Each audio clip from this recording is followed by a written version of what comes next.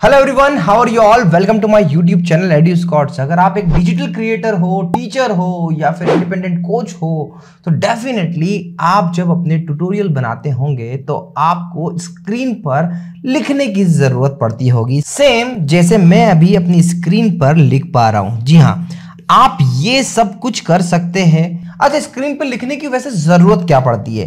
तो देखिए, जब भी आप किसी चीज़ को एक्सप्लेन करते हैं, जब भी आप किसी प्रोडक्ट को एक्सप्लेन करते हैं, जैसे सपोज़ मुझे अगर ओबीएस को एक्सप्लेन करना है, और ओबीएस को एक्सप्लेन करते वक्त अगर मैं आपको यहाँ पर ऐसे मार्क करके बताऊँ कि देखो ओबीएस का आयकन कुछ ऐसा होता है, और जब आप ओबीएस को ओपन कर लेते हो तो इस टाइप का कुछ इसका एक लेआउट होता है। जैसे कि मैं ओबीएस सॉफ्टवेयर की नॉलेज रखता हूँ, और अगर इस समय पर मुझे ओबीएस के फीचर फंक्शनलिटी को एक्सप्लेन करना है तो डेफिनेटली मैं इस तरीके से एडिट विंडो के बारे में डॉक के बारे में, या फिर हम बात करें डिस्प्ले कैप्चर के बारे में, या फिर इस साउंड के ऑडियो के बारे में आपको इस तरीके से लिख कर एक्सप्लेन कर पाऊँगा। तो डेफिनेटली ये सॉफ्टवेयर आपके लिए बहुत ही ज़्यादा यूजफुल है। या फिर अगर आप किसी क्रोम पर किसी फीचर किसी वेबसाइट को एक्सप्लेन कर रहे हैं और उसके वेबसाइट के फीचर्स को एक्सप्लेन करना चाह रहे हैं तो ये सॉफ्टवेयर आपके लिए बहुत यूजफुल होगा।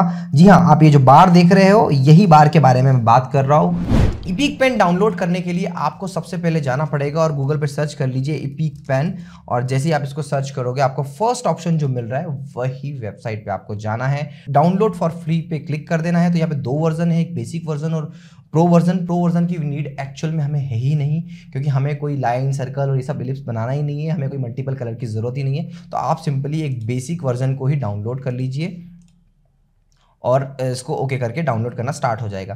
देखिए, ये पीक पेन का ई फ़ाइल डाउनलोड हो चुकी है, इस पर डबल क्लिक कर कर आप उसको इंस्टॉलेशन के लिए प्रोसीड करिए।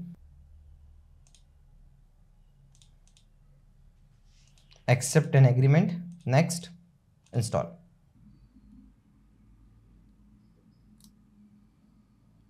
बहुत छोटा सा सेटअप है, बहुत इजीली इंस्टॉल हो जाता है। आपको एक्टिव करने के लिए बोलेगा, आप कुछ भी नहीं करिएगा, आप स्टार्ट फ्री टायल पर क्लिक कर दीजिएगा और इसको क्लोज कर दीजिएगा। आपको वेबसाइट पर रिडायरेक्ट करेगा वेबसाइट को आप कर देना मिनिमाइज और इसको फिनिश करके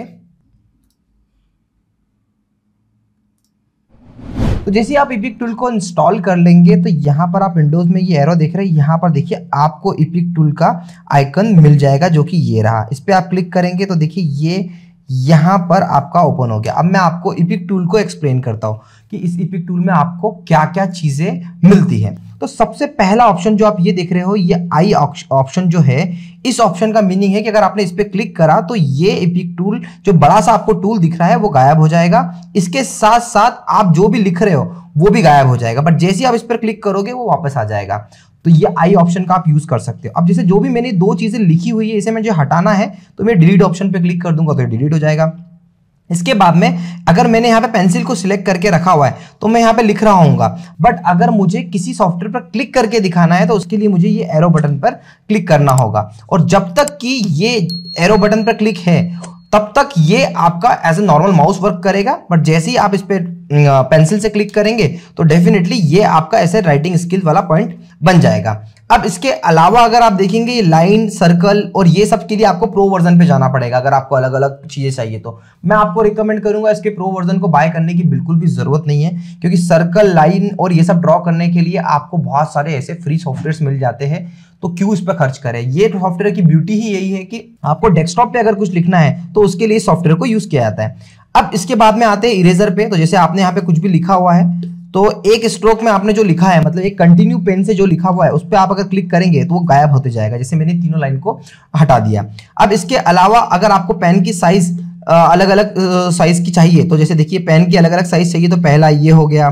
फिर आप अगर पेन की साइज़ को और भी मोटा करना चाहे तो आप इसको ऐसा मोटा कर सकते हैं। और ये इस तरीके से पेन की साइज़ अलग अलग आप मोटी मोटी मोटी, मोटा पतला कर सकते हैं। एक चीज़ अच्छी मुझे जो दिखी यहाँ पर, क्योंकि ईपी क्वीन पेन टूल सपोर्ट करता है प्रेशर सेंसिटिविटी को। मतलब अगर लाइटली आप अगर कोई पेन चलाओगे, जैसे मैंने यहाँ पर एक लाइटली हल्का सा हाथ रख के मैंने पेन चलाया, और अगर मैं ताकत से लगाऊँगा तो ये मोटी होती जाएगी लाइन तो ये प्रेशर सेंसिटिविटी को भी हैंडल करता है। सॉफ्टवेयर में इसके ऑप्शन दिया होता है। अब जैसे यहाँ पर सपोज़ मैंने, अगर चार पाँच चीज़ें लिख रखी है वन टू थ्री फोर और पाँच को लिखने में मैंने गड़बड़ी कर दी है तो मैं इस बैक स्पेस से ये गायब कर सकता हूँ तो देखिए इसका यूज़ आप ऐसे कर सकते हैं इसके अलावा ये जो फोर्थ ऑप्शन जो टीवी टाइप का ऑप्शन है इसका आपको नीड नहीं है एक्चुअल में इस ऑप्शन को इग्नोर करते हैं दूसरा कैप्चर करने का ऑप्शन है कि आपने जो भी लिखा है आपको अगर सेव करना है तो आप इसको सीधे कैप्चर कर सकते हैं और ये कैप्चर हो जाएगा आपका ठीक है इसके अलावा जो ये है अबाउट सेटिंग और ये सब के तो इपिक टूल के सेटिंग में अगर आप जाओगे तो बेसिकली बहुत सिंपल सी सेटिंग है। इस सेटिंग में कोई ज़्यादा छेड़छाड़ करने की आपको ज़रूरत नहीं है। तो यहाँ पर आप कलर सिलेक्ट कर सकते हैं। तो इपिक टूल के प्रो वर्जन में आपको ज़्यादा कलर्स मिलते हैं और बेसिक वर्जन में कम कलर मिलते हैं। जो बेसिक वर्जन मुझे लगता है कि मोर देन सफिशियंट है कि इससे ज़्यादा कलर की रिक्वायरमेंट आपको होगी ही नहीं। तो बेसिकली यहाँ पर आप टॉप फाइव में चार कलर दिखा सकते हैं। उसके बाद में आप वन बाय वन कलर को सिलेक्ट कर सकते हैं। तो ये था बेसिक ओवरऑल इपिक टूल का। हाँ अगर आप इस इस टूल को इस टूल को अगर आप साइड में रखें तो ज़्यादा बेहतर रहेगा, क्योंकि बीच में बड़ा, काफ़ी बड़ा सा दिखता है। और जिस टाइम आपने आपको लिखने की ज़रूरत नहीं है डिलीट प्रेस कर दीजिएगा और इस आई आइकन को क्लोज कर दीजिएगा ताकि जो भी यहाँ पर है, आपकी स्क्रीन प्रॉपर रहे। आपका ये बड़ा सा बीच सेंटर में होता है तो डेफिनेटली थोड़ा सा और लगता है तो इसको आप साइड में ही रखिएगा।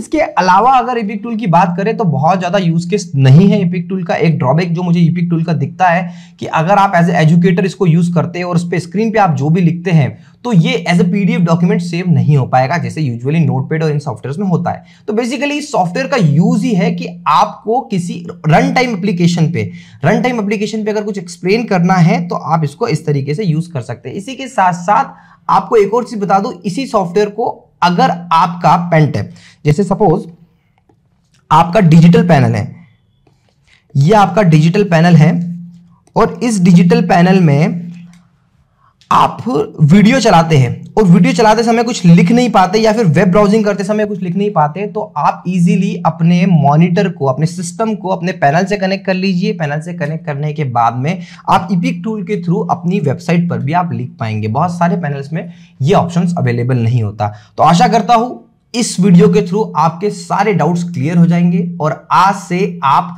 अपनी वीडियो को मोर अट्रैक्टिव बनाने के लिए एपिक टूल का यूज़ करेंगे। प्रो वर्जन पे एपिक टूल के जाने की बिल्कुल भी ज़रूरत नहीं है। बेसिक वर्जन में वो सारी ही चीज़ें आपको मिल जाती है।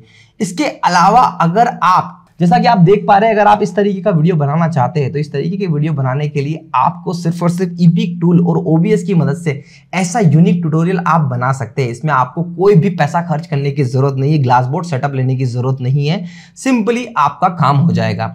अब ईपिक टूल को यूज़ करने के लिए एक हार्डवेयर की ज़रूरत डेफिनेटली पड़ेगी, वो है आपका पेंटेप तो ऐसा, या तो आप ऐसा ग्राफिक पेंटेप लेना चाहते हो जिसमें डिस्प्ले दिखाई दे रहा हो, वैसा कुछ ले लीजिए, या फिर आप सिंपली नॉर्मल जो आपके वेकॉम के और इंटियोस के जो बेसिक पेंटेब आते हैं, दो से तीन हज़ार रुपए के, वो भी आप ले सकते हैं। मैंने डिस्क्रिप्शन में हर एक डिवाइस की लिंक दे रखी है।